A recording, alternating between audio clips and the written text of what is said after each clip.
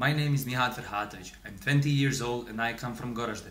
I'm attending second year on bachelor degree at International Burch University, Electrical and Electronics Engineering. As a student on electrical engineering, I'm vice chair of IEEE student branch at my university. Also, being volunteer on IEEE Student and Young Professional Congress gave me a chance to meet students and professors from all around the world and this congress helped me to gain knowledge from topics that are not part of curriculum at university. As one of this year's Bosnia-Herzegovina Futures Foundation scholarship recipient, I'm actively volunteering and using my skills and experience with the goal to promote the foundation work, mission and its vision. Combination of formal and informal education is a key to success, so I'm making my own.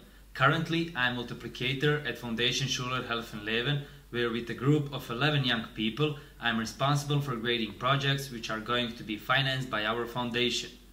Through volunteering in many organizations, I improved communication, problem solving, teamwork, and public speaking skills.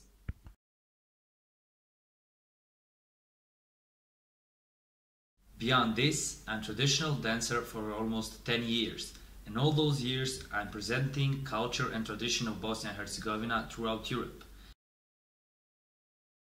Visiting many countries in region and in the Europe, I learned a lot about other cultures and that knowledge helped me to become a global citizen with at least one friend in every one of it. And for the end, everything is possible only if you are ready to work hard enough.